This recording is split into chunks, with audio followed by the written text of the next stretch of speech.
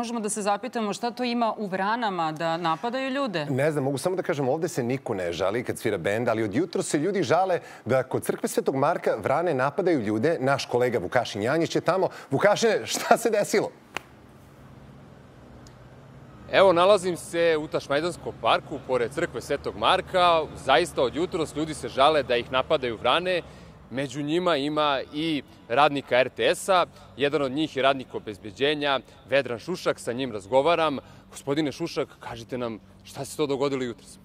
Pa, prilikom dolaska e, zapravo na putu do posla, jutros oko 6.15, e, na ovoj ovde stazi, napala me vrana. E, vrlo agresivno je krenula na mene, i e, svojim delom tela se zabila u moje levo rame. E, iza mene je išla još jedna sugrađanka naša, gospođa koja radi ovde dole, ovaj, i, e, i nju je isto u, pogodila u desno rame.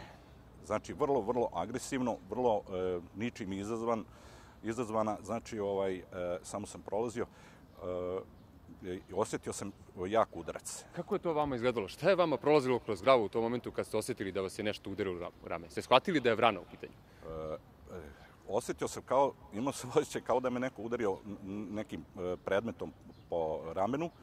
Kad sam se okrenuo, video sam vranu kako sleće na drvo. E, znači, tako je, kažem, jak udarac, e, čak imam i tu ogrebotinu na levoj ruci mišici, ali ovaj, kažem, opet e, sve je dobro, samo da nije recimo u glavu. Da, ovaj, da, da li ste čuli još neko iz RTS-a, je, je li povređen, jeste pričali sa još nekim? Da, žalili su se e, mnoge naše kolege, e, dvoje, troje ljudi, čak ima i ovaj, devojka koja je rana ovaj, napravila ranu na glavi. Dobro. Hvala vam puno na ovom razgovoru i uključenju. Eto, toliko iz Tašmedanskog parka, dakle vidimo da se vrane obrušavaju na ljude, o čemu se tačno radi, nismo sigurni, ali eto, mali oprez za sugrađane kada budu prolazili ovde kroz park, nek malo pogledaju u nebo, nek se okrenu ko sebe, da ih neka vrana ne bi slučajno gadnije povredila. Za jedan dobar dan, Vukašin Janjić. Hvala ti mnogo, Vukašine. Mi ćemo popričati i o ovim napadima vrana, ali sumnja se da se tu nalazi gnezdo sa malim ptićima. A mi imamo danas i specijalne goste, a to su naš kolega, novinar i autor Jovan Memedović i Kristina Cvejanov, ekspertkinja za ambalažni otpad.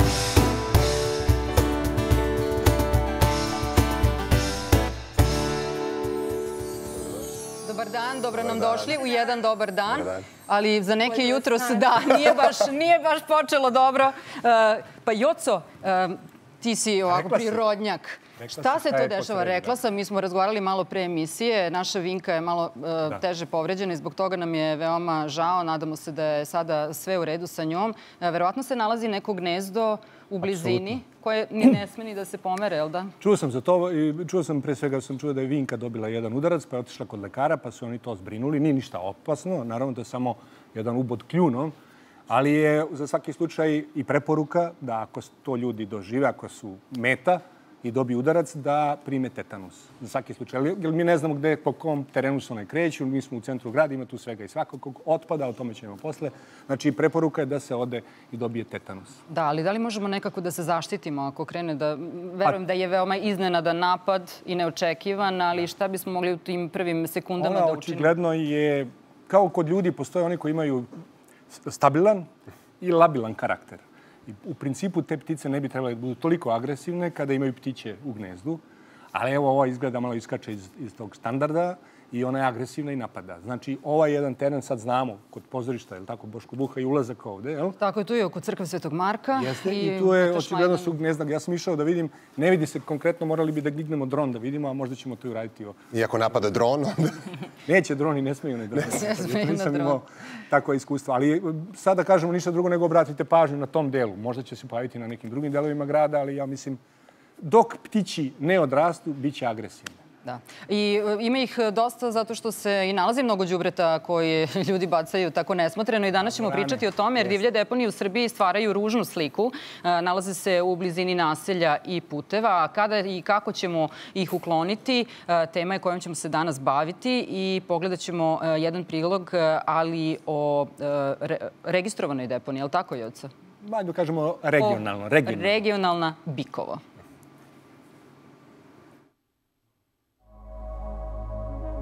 Nedaleko od Subotice selo Bikovo. Ovde se nalazi novo izgrađena regionalna deponija, a počela je sa radom 2018. godine. U našoj zemlji postoje tek četiri ovakve deponije. Sve ostale su nesanitarne, a najviše je divljih deponija. Otpad je za sve nas veliko opterećenje i veliki društveni problem. Regionalna deponija kao ova podrazumeva konačno zbrinjavanje otpada. Ovde se sastajem sa direktorom, Gligor Gelert je po obrazovanju doktor biotehničkih nauka. Od njega saznajem da ova deponija zbrinjava otpad i Subotice i još šest opština i da je to na godišnjem nivou oko 70.000 tona smeća.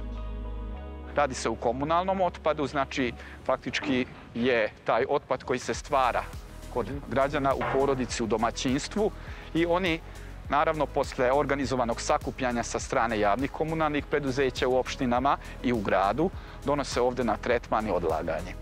Prvu selekciju obavljaju domaćinstva sa dve različite kante. U zelenu kantu ide mešoviti otpad, a u plavu sve ono što se može reciklirati. Papir, karton, plastika, pet ambalaže i metal.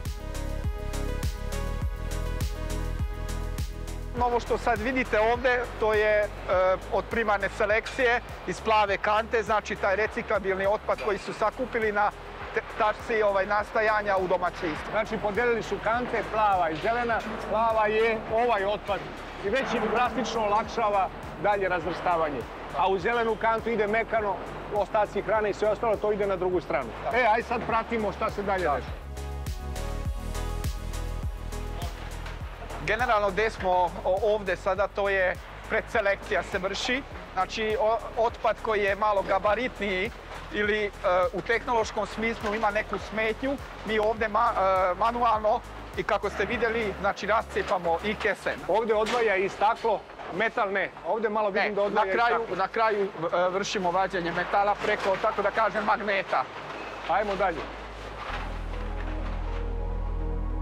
Otpad automatski ide na rotosita, gde postoje dve frakcije, veća i manja, kroz koje propada uglavnom organski otpad, ostaci hrane, voća i povrća.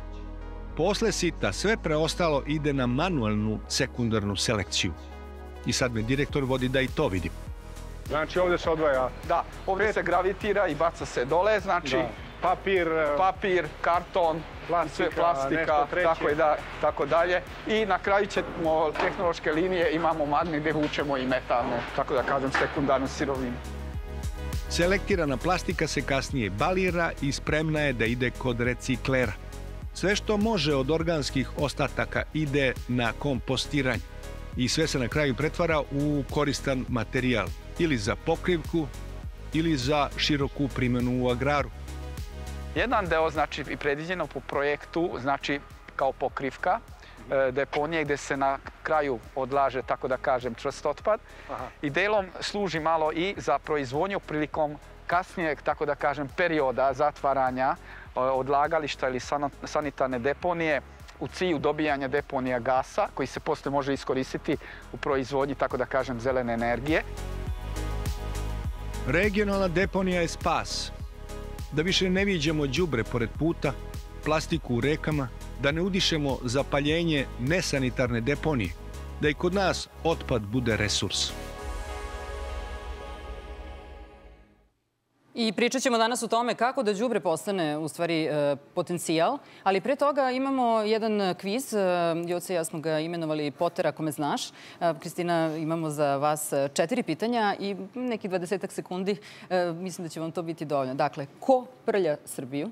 Kako da očistimo Srbiju? Kako da kaznimo one koji prljaju? Kako da nagradimo one koji čiste? Dobar dan. Dobar dan. Svi mi prljamo Srbiju. Ne postoji niko od nas i ni jedna institucija ili privredni subjekt koji ne generiše otpad. kako da je očistimo tako što ćemo svi mi da svojim angažmanom i radom uh, vodimo računa, da ne ostavljamo otpad tamo gde ne treba, da postičemo institucije da radi svoj posao i da učestvujemo u sistemu separaciji otpada tamo gde on postoji, da bi svoj otpad poslali na reciklažu. A šta bi treće pitanje? Treće pitanje je kako da kaznimo one koji Aha, da prljaju. Da, evo može to da bude četvrto. to je najteže. Kako da nagradimo onda? Ne, ajdemo ovako, ajdemo recimo, ajde da sad, za, za sad ostavimo kviz na kratko, ali recimo da smo Kristina i ja negde u vrhu vlasti, da je ona ministarka ekologije, a ja sam neko ko, ajde, nije bitno po kom zvanju, i hoćemo da se bavimo zaštitom životne sredine ili hoćemo da se konačno obračunamo sa otpadom, šta bi Kristina ti kao ministar meni predložila šta prvo da uradimo? Ja bi ti predložila da prvo organizujemo, edukujemo inspekciju, da ako ustanovimo da ih nema dovoljno, a to će nam sigurno biti zaključak, da zaposlimo mlade ljude, znači stručne ljude i da ih pošaljemo sve na njihove radne zadatke, a to je da utvrde sve one propuste kada je u pitanju upravljanje otpadom, odnosno tretiranje otpada mimo zakona, da onda naše pravosuđe na osnovu njihovih nalaza kazni počinioce i da dođemo zajedno na RTS da objasnimo svima da će to u buduće tako da bude i da svako ko ne bude poštovao zakon da će biti kažnjen. I to je to. Onda možemo da radimo malo edukacije. A zakon postoji? Da, zakon, zakon postoji. mora da se poštuje, to je to. Zakon postoji i veliki je problem zapravo što malo ko zna za njega. Mi smo okrenuli u potragu za zakonom tako što smo pitali bivšeg ministra životne sredine i on i tadašnje, čini mi se, šef inspekcije su nam rekli da to nije u stvari pod ministarstvom ekologije. I onda smo ga tražili gde je, jer naravno bilo nam je logično da se Ministarstvo životne sredine bavi time, u stvari u pitanju Ministarstvo građevine i infrastrukture. Zbog čega? Zato što se kazne za odlaganje otpada van propisanih mesta definišu zakonom o komunalnim delatnostima. Ministarstvo građevine je u stvari nadležno za ovaj zakon, a odgovornost za sprovođenje je na lokalnim samoupravama. Znači, gradovi i opštine kroz angažman komunalne inspekcije i komunalne policije su dužne da sprovede odrodbe ovih zakona. E sad, koje su to kazne planirane? Ajmo neke samo, recimo, da ljudi znaju da, da to u zakonu stoji crno na belo. Ako baciš na ulici to, koliko ćeš platiti? Evo, krene i oca za bajnu baštu i negde tamo kod Povlena izbaci kroz prozor kesu sa džubretom. To stalno viđamo.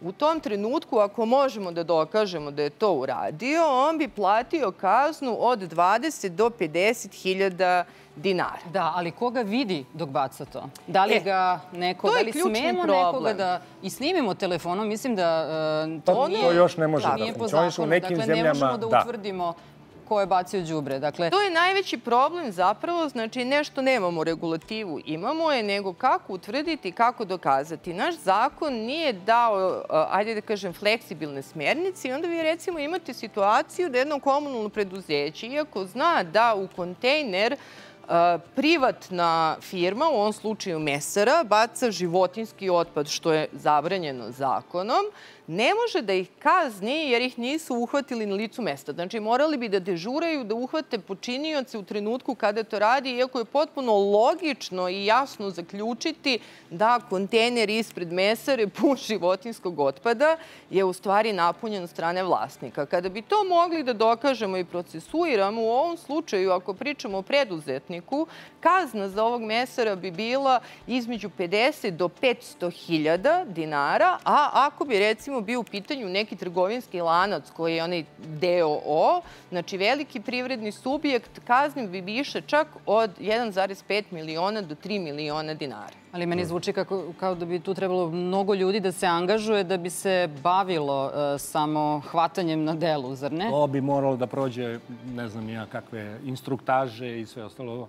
Ali da mi da vratimo priču na nešto drugo. Ovaj, šta je do nas, građana, šta mi možda uradimo, ajde da krenemo od nas, pa ćemo, idemo kasnije ili tako. Evo ja imam pitanje. Ja, na primjer, želim da uh, razvrstavam svoje smeće. Želim da ga recikliram. Dakle, odvajam plastiku, odvajam staklo, odvajam karton, papir i posebno odvajam hranu, organski, organski otpad.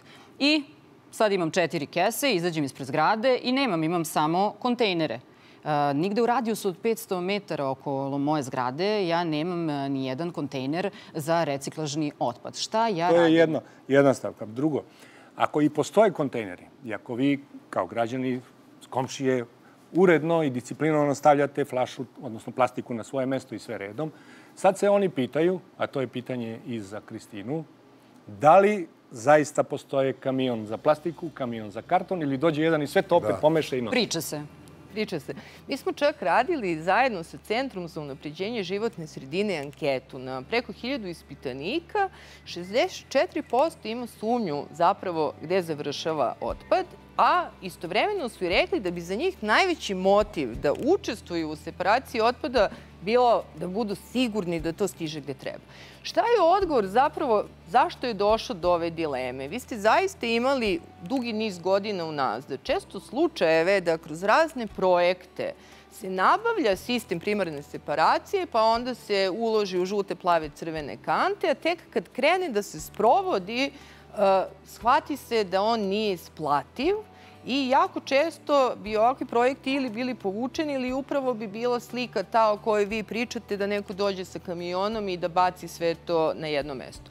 Zbog čega? Zato što u suštini nije logično kada krećete u ovom periodu razvoj primarne separacije, za razliku pre 10-20 godina kad su to uradili države, države Evrope, da opterećujete sistem sa velikim brojem kanti. Zašto? To je previše transporta, to je previše emisije CO2. Znači, te ekološke paradigme su se promenile u odnosu na nekad kada je Evropa išla u pravcu raznobojnih kanti. Ono što je država Srbija propisala svojim regulatornim okvirom, a verujte, to je tako od 2012. godine, kad kažem regulatorni okvir, to su ne samo zakoni, već i strateški dokumenti, pričamo o programu upravljanja otpadom, to je da vi treba imati dve kante u domaćinstvu. I mi sada imamo e, prvi put na jednoj velikoj e, geografskoj površini, pričamo o 17 gradova i opština, projekat odvajamo koji sprovodi Ministarstvo životne sredine, kako zapravo mi smo planirali sve ove godine da taj sistem izgleda.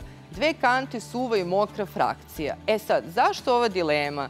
ne treba razvrstavati znači, sve e, na sitne frakcije, kako ste vi spomenuli, pa plastika, pa papir, pa karton, pa metal, zato što je zapravo mnogo jednostavnije sa novim tehnologijama da na sortirnici to i selektujete, pogotovo ako koristite optiku koju još uvek uh, i u Evropi smatraju novom tehnologijom. Dakle, trebalo bi mnogo edukacije za sve nas. Tako je, tako je i u suštini ono što danas Beograđani često imaju kao zamjerku, a to je da uh, komunalno preduzeće isprazni sve u jednu kantu, Ono koliko ja znam, taj otpad ode na sortirnu liniju, iz njega se izvuče ono što može da se reciklira. Što smo videli, da, videli smo. U, u Ali moram jednu ogradu da napravim. Mislim da je to jako važno da razumemo i da bi bili motivisani da koristimo kontejnere za staklo. Staklo ne treba da ide u ovu mix kantu. Videli ste zašto iz jocinog snimka, jer kad ljudi selektuju ručno na sortirnicama otpad, ukoliko ima lomljenog stakla, to može da bude vrlo opasno.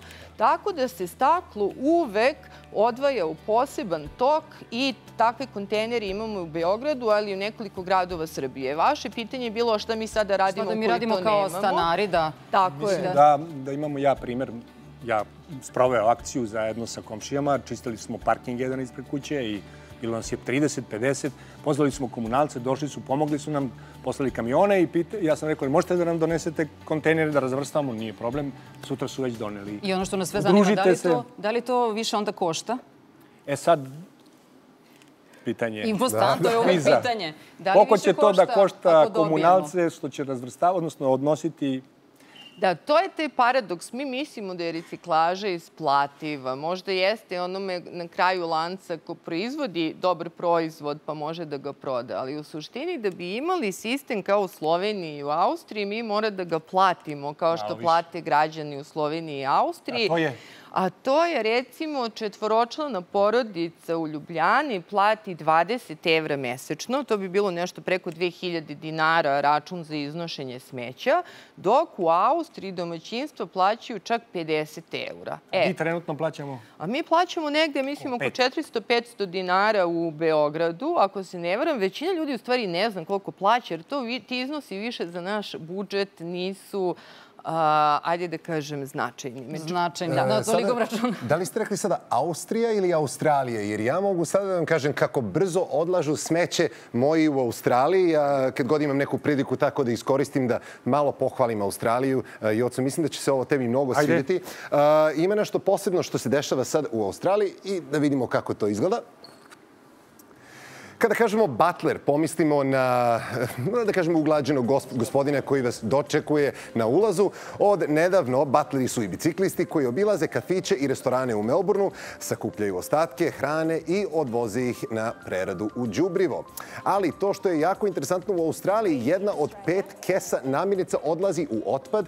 Australijanci svake godine bacaju oko 7,6 miliona tona hrane, što je 312 kilograma po osobi, odnosno oko 2 2.500 dolara godišnje po domaćinstvu. Biciklisti, batleri su deo nacionalnog projekta koji ne pomaže samo u uštedi tone otpada sa deponija, već ljudima bez zaposlenja omogućava da pronađu svoje mesto u društvu. I to je nešto jako lepo. Nadam se da si impresioniran, kolega, da ste impresionirani. Jesmo, ovaj, ali lepo si nam dao sad da, samo priliku da još nešto bitno kažemo, a to je sve polazi ipak od nas, koji smo u domaćinstvima, da li imamo dovoljno svesti i savesti i hoćemo li mi to da radimo? Hoćemo li paziti šta radimo s otpadom? Ukoliko to ne može, odnosno ne može da zaživi među nama, onda i kazne će teško da idu i država će možda nešto preče da uzme da radi. Ja se Ali nadam ipak da sve hoće. zavisi od nas. Ja se nadam da hoće, da će sve krenuti od pojedinca i naravno edukacije. Najlepše vam hvala što ste bili naši gosti, Kristina Cvijanov i Ali Jovan da Medović. obećam da ova priča nije završena još. Naravno, Jovane. Mislim da ćemo čekamo te. pozvati još neke ljude i iz ministarstva i bila je predviđena da dođe danas Sandra Božić, je li tako? Sandra Dokić, državna Dokić. sekretarka, ali nam je obećala da će da dođe drugom prilikom i e, zaista bi bilo dobro da čujemo šta je ono što je naše ministarstvo planira da uradi, ali i komunalno preduzeće, jer je važno što više pričamo o ovoj temi, to će i građani više da vode računa o Ja, svemu ja tome. postajem ekspert za deponiju. Tako je. I ti si naš četiri glavni džubro influencer. Da, da. I bio je zaštitno lice akcije za vrni rukave u kojoj je uč... na preko 150 lokacija smo čistili, tako da o, to što Joca radi definitivno daje rezultate i... Pa on zaista jeste. Prebiram po pravi, deponiju. pravi influencer. Ono što bi influencer. influenceri Đubro trebalo, influencer. To trebalo bi se da zvalo na engleskom binfluencer. To da